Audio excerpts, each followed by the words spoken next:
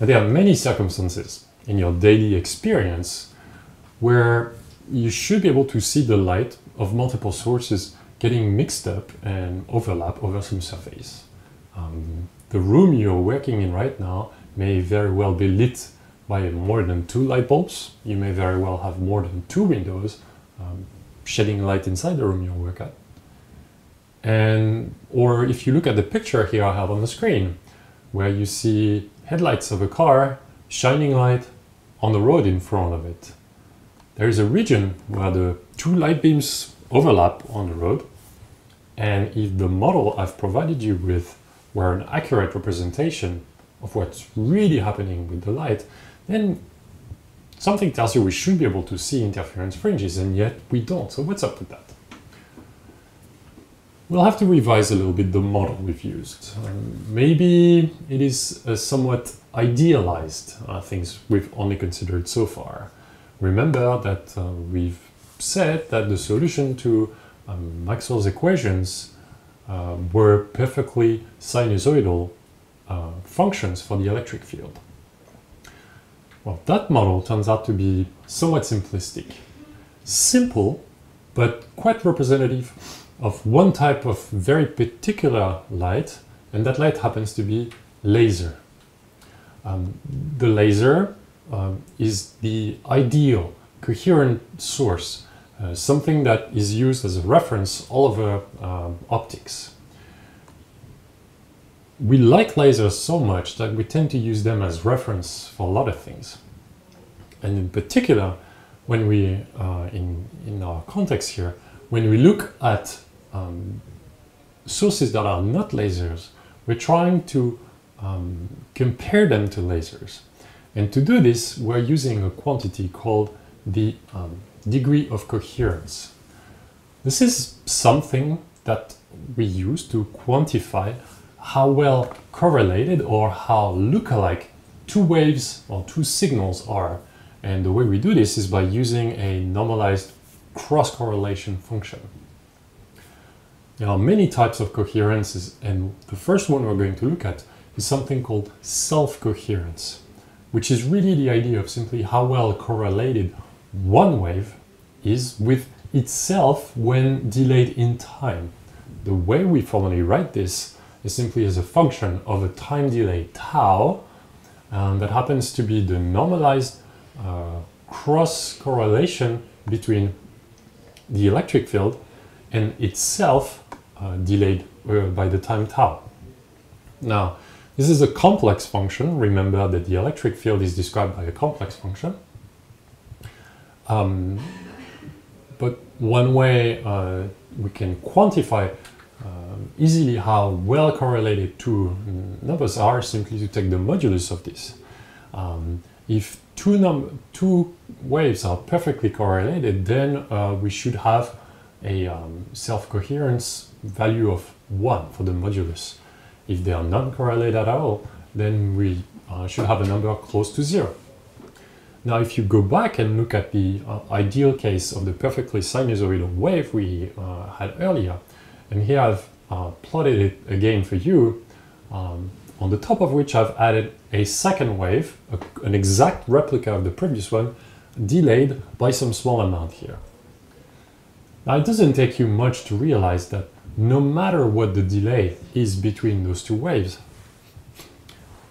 if you perform the computation and take the modulus, you're going to find that the two functions are always perfectly correlated and you end up with a self-coherence modulus to be exactly one, no matter what the location. That's the typical behavior of a laser, within some boundaries, of course. Now, um, natural light sources, most light sources that are not uh, laser-like, uh, highlight a very different behavior.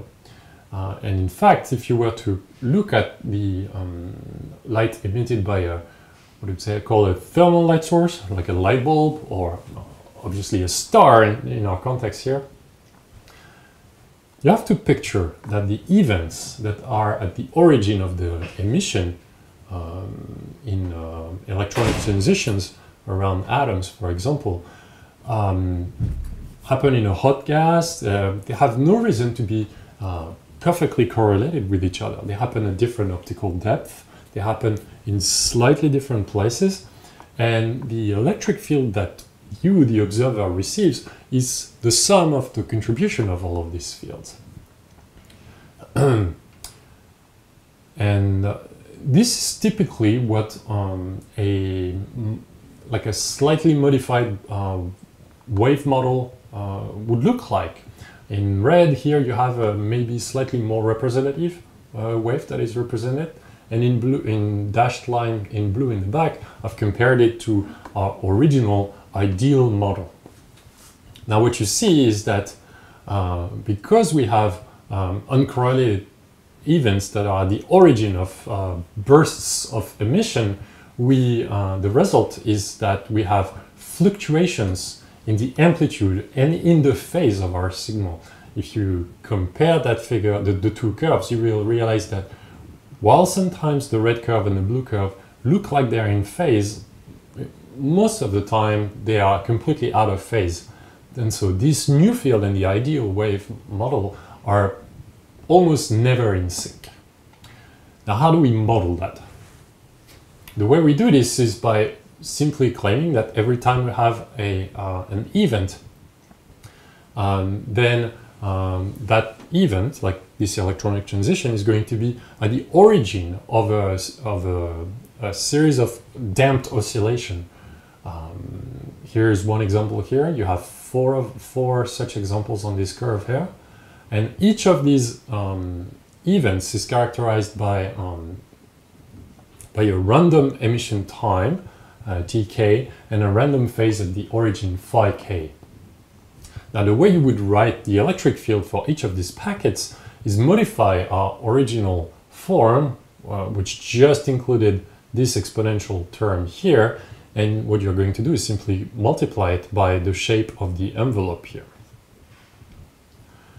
And uh, in addition, uh, what you see is that you have the origin, uh, the time um, of emission tk occurring in the shape of the envelope and in the origin of the time here. And in addition, this random uh, phase at origin phi k. With such a field, um, a more complex electric field, you um, may guess that you're going to experience some very different self-coherent properties. And remember, we've defined self-coherence as the way uh, two fields are going to look alike if you delay one, uh, um, if you're talking about self-coherence, you're looking at the field, making a copy of it and delay, delay it in time a little bit and looking at how look-alike they are. And so here you have um, the example here, we have, have two such uh, train wave packets, if you want, and uh, I've uh, plotted a delayed copy of it, just, just barely delayed. And what you see is that if you have small delays, um, well, the signal and its copy do actually somewhat look alike. And so uh, if the delay is not very high, very large, you expect that the correlation between the two is actually to be quite good. On the other hand, because of the irregular shape of this signal, um, with a delay um, large enough, then uh, you see that the two fields, and in this case I've just you know moved one of the fields um, significantly more relative to the other, you see that the two fields simply don't correlate anymore, in which case uh, you're going to measure coherence pretty close to zero. this is what I did here, uh, where I've, um, I've plotted the, the resulting self-coherence of the field as a function of uh, the time delay between the, between the two things. What you see is that most, for most time delay values, you have typically hover around zeros in terms of the coherence, except when you get very close to uh, the two signals being perfectly aligned, in which case you see that the function just shoots up, reaches a maximum, and um, over, and over um, a somewhat narrow window in time, you can say that you have you know, decent self-coherence. so what we see is that there is a limit beyond which the signal and its delayed copy do no longer look alike. Um, that time delay, which we know tau naught, uh, just to, to, to, to, use a notation here, is something we call the coherence time. It's something that uh, we're going to find later again in our uh, description of those phenomena. now there are, there are several things that can uh, have an impact on the apparent shape of the, um, the, the, envelope that uh, we've mentioned about earlier. And one of the, the things that matters significantly over it is uh, the, the band pass. Remember, we've described solutions to the wave equation uh, using ex complex exponential forms like this. And for now, just let's imagine that we're going back to this ideal case where we have um, ideal solutions here. In addition to space and time, which appear here and here, you have to remember that this solution is also a function of the frequency of the light you're looking at. The observer, uh, an astronomer at the telescope, is typically going to decide of a bandpass filter to use to perform his observation. It's simply going to use a filter in front of his camera that's going to select a range of frequencies or wavelength, uh, depending on the regime you're working in. Um, that, and that, that, that filter is going to cut out frequencies outside of the window where the astronomer cares for um, acquiring data. Uh, an ideal filter would look something like this, where you have zero transmission outside of a window uh, that's uh, perfectly well defined here. The electric field that you're going to sample after such a filter is simply going to be the uh, integral of the uh, this solution here multiplied by the filter function and all of it is going to be uh, integrated over the range of uh, wavelength or frequencies you're interested in.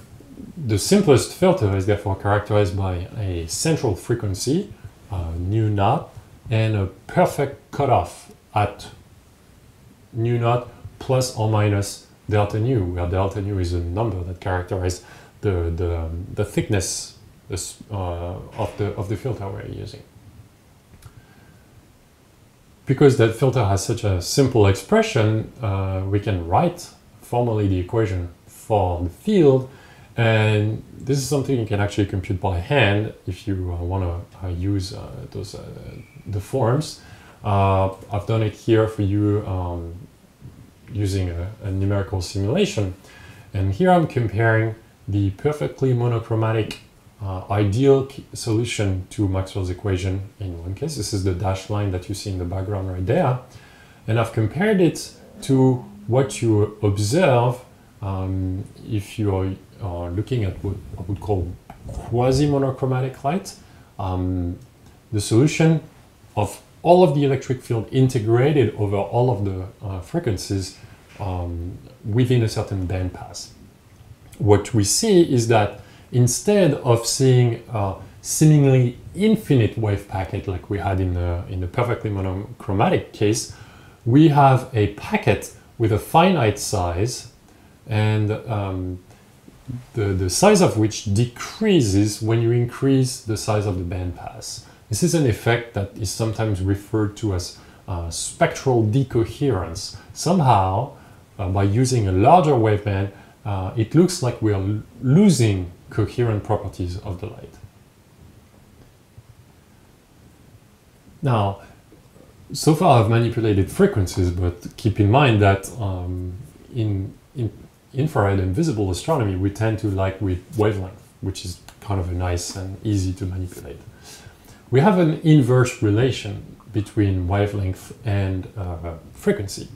And so a bandpass in frequency, delta nu here, which you can explicit as the difference between two frequencies, is going to be to have an equivalent in terms of wavelength, uh, which simply writes like, the, like so. And if you um, if the two wavelengths are not far from each other, then uh, you can approximate this to um, this um, uh, new expression here, where you have the speed of light, the bandpass in um, units of wavelength and the wavelength square here.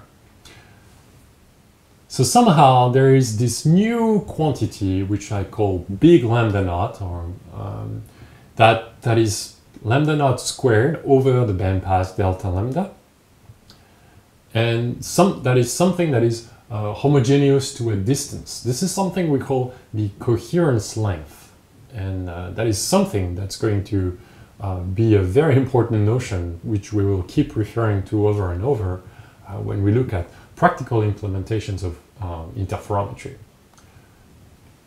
You can also see that uh, you can actually write this uh, coherence length as the product of R and lambda naught, where lambda naught is the central wavelength of your filter, and R is a quantity that represents the spectral resolution, it's a dimensionless number. And so um, a large uh, spectral resolution is going to uh, result in a long coherence length. And uh, it is, of course, this coherence length is, of course, related to the coherence time we identified earlier. We simply have this relation.